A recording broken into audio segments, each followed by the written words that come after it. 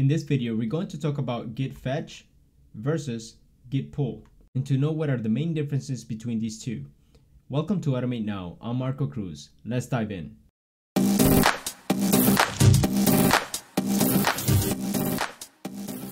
On the top left corner, you're going to see this repo that is found on GitHub. This is called test repo. And I went ahead and cloned this repo to my computer. And this is what you can see on the bottom left. And on the right, you can see Sourcetree open with this repo and the main branch has been checked out. Now let's just say that we have two developers. I'm developer one and I'm making some changes to this repo locally here. And let's say that we have another developer, developer two, and they are also making some changes to the same repo. And let's go ahead and mimic a change made by developer two. And we're going to go to GitHub and then we're going to say add file. And then we're going to say create new file. And here we're going to give this file a name. It's going to be called developer2.txt. Let's go ahead and add some text here. Then we're going to scroll down, maybe add some comments over here. And then we click commit new file. And now we can see that this remote branch contains a new file, developer2.txt. But my local branch does not contain that file yet. So one way that we can bring those changes into our local branch is by using this command called fetch this button called fetch. And what fetch does is going to reach out to GitHub to the remote branch and it's going to find out if there are any changes to this main branch. Notice that this is the main branch that I have checked out. And over here, we also have a main branch on the remote. So it's going to go out to the remote branch and see if there are any changes. And hopefully it's going to pick up that there is a new change where a new file has been added. So let's go ahead and click fetch right here. Leave this default check mark and click OK. Now look at what happened over here. Now we have a number one next to a down arrow.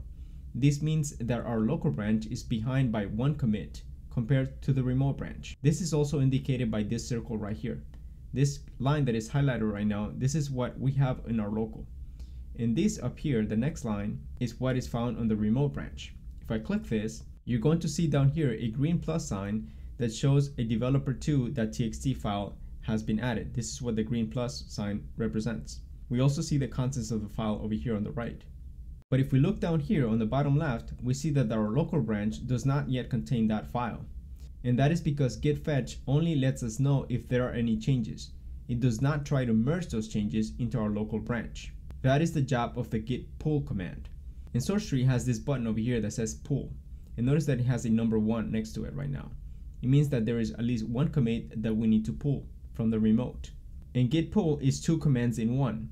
It first does a git fetch to find out if there are any changes, and then it does a git merge. And that merges any remote changes into our local branch. Let's go ahead and click pull. And here we have pull from remote. We only have one option, origin. So we're going to leave the default there. And the remote branch to pull would be the main branch. Again, there's only one option, but we can verify this over here. This remote repo only contains this branch right here called main. Then we're going to leave this default checkmark right here, and we're going to click pull.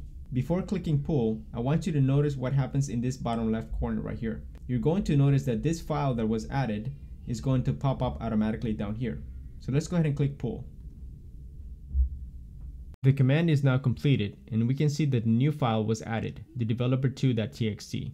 So hopefully by now you can clearly see the difference between fetch and pull.